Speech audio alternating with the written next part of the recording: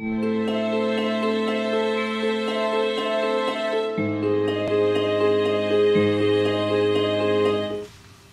Glamaholics. Um, you know, I'm new to this whole YouTube recording videos and I know I've been really bad about it, but I've received a lot of emails about my last tutorial that I did with um, the color remover, how I went from black hair to red hair, but I never updated and showed uh, what my hair looked like red. But I'm gonna post some before and after pictures um, from the cherry red hair that I went to um, and to show the black hair that I had before.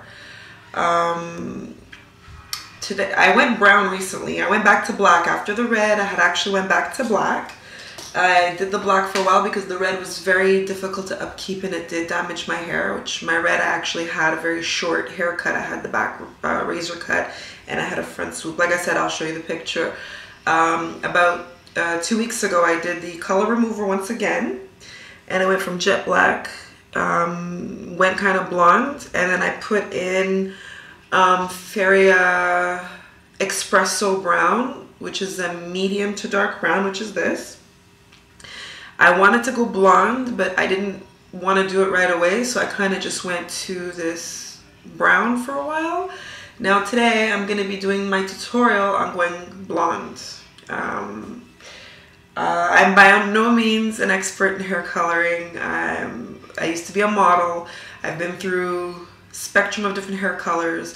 I've learned many things about hair colors. Um, uh, so basically I'm going to be teaching you from what I've learned. Oh my god, my makeup looks crazy. I didn't really finish it yet. and I will have some makeup tutorials on some of my makeup jobs. But oh my god, this eye looks so dark. It's my crazy lighting. Oh my goodness. Anyways, now back to my tutorial. So um, yeah, so I'm going to be using uh, Nutrisse Intense Color Bleach is what I'm going to be using, okay? Which is this. You can buy it at the drugstore, you can buy it at any Walmart. Um, see the bottle perfectly. So that's what I'm going to be using today. And I chose this color by L'Oreal Paris Feria. This is the color, color 110. That's the box right there, 110. So I'm gonna be using these two colors. So, uh, as we all know, this is pretty much all very damaging, so I'm gonna be going along through the process with you and um, you're gonna get to see the whole process of what it goes through, what color it turns out. So cross your fingers, wish me luck. Um, also, before I forget, you should buy um, I bought from John Frieda, because I do like John Frieda products, a Sheer Blonde Color Renew, which is a tone corrector shampoo. I really, really, last time I was blonde, which was, seems like ages ago, eons ago, um, I did use tone correcting shampoos, which tended to help out a lot. So, um, also, where's my other shampoo? Oh, this is another good one. Sorry, coming a little close up. I am in my bathroom. Uh, this is another one I like to use in my hair also. It's called by Roux. It's Porosity.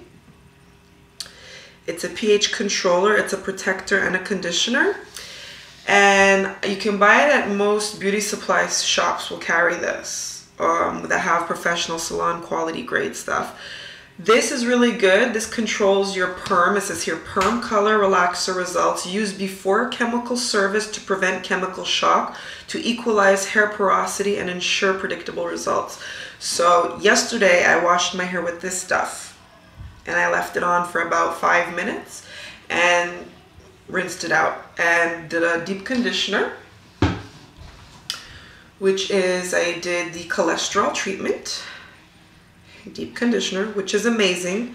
Makes your hair super, super soft and does help with any damage. And kind of left my hair as is, which is a little crazy. I didn't blow dry. I got my fro going on. So, pretty much well, that's what you need to keep your hair well. I'm, I'm probably to cut my hair. I would like to trim it down a little bit because my hair is like, it's grown out like crazy due to my new vitamin thing. I'm gonna have, post that as well, how to grow your hair quickly, especially for the mixed girls, the African American girls who are trying to grow their hair and don't know what to do to grow your hair. I'm also gonna post that up. I have many tricks because my hair grew literally so quickly in such a short amount of time.